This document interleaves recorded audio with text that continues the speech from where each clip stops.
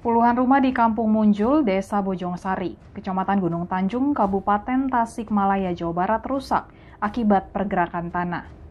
Musibah pergerakan tanah tersebut terjadi sejak beberapa hari lalu dan seperti diberitakan Tribun Jabar, selain merusak lebih dari 80 unit rumah, pergerakan tanah tersebut juga membuat sekitar 9 hektar tanah sawah retak-retak.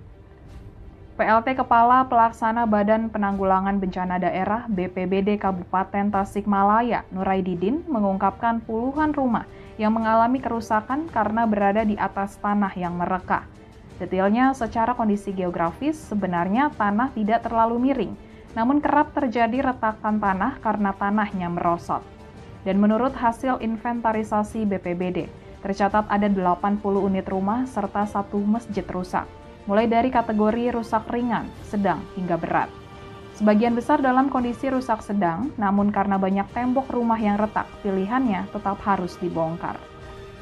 BPBD Kabupaten Tasikmalaya pun mengimbau warga setempat untuk bertindak waspada, terutama jika turun hujan lebat berkepanjangan karena dikhawatirkan terjadi longsor, sehingga masyarakat kalau merasa terancam lebih baik memilih untuk mengungsi.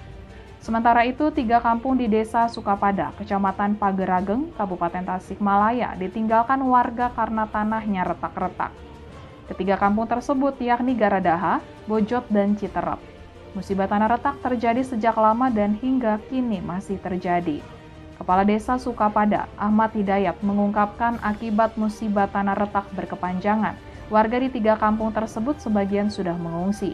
Kejadian terakhir pada pertengahan Januari 2021 yang menyebabkan lima rumah ikut retak-retak. Seluruh penghuninya pun kemudian mengungsi. Seorang warga bernama Ella, warga kampung Garadaha yang ikut mengungsi menuturkan, ia bersama keluarganya terpaksa meninggalkan rumah karena khawatir rumahnya ambruk. Ia pun berharap pemerintah turun tangan melakukan penanggulangan.